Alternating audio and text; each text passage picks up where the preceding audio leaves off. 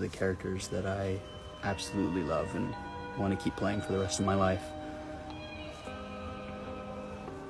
What do I think about Mattheo Riddle? I think Mattheo should watch Tell Me Lies on Hulu.